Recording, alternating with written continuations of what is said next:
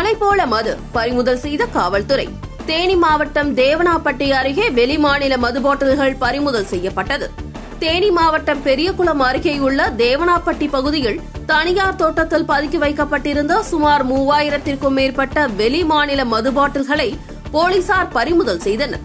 இவை அனைத்தும் கோவாவிலிருந்து கேரள மாநிலத்திற்கு கடத்தி வரப்பட்ட எழுநூற்று ஐம்பது மில்லி அளவுடையவை.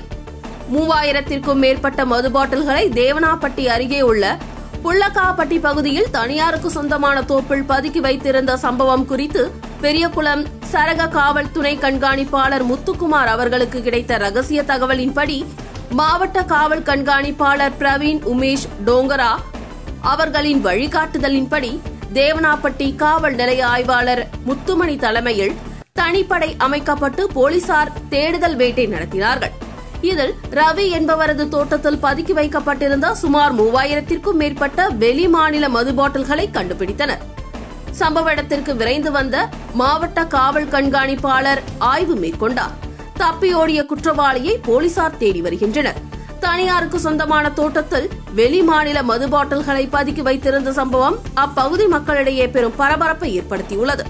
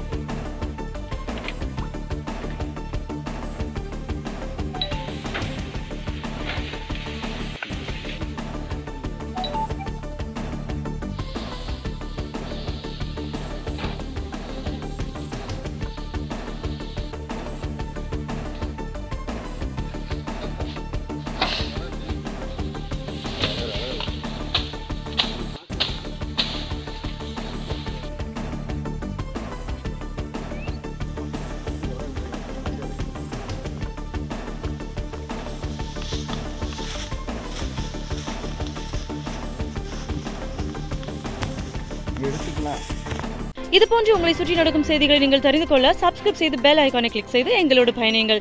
மறக்காமல் லைக் ஷேர் கமெண்ட் செய்யுங்கள்.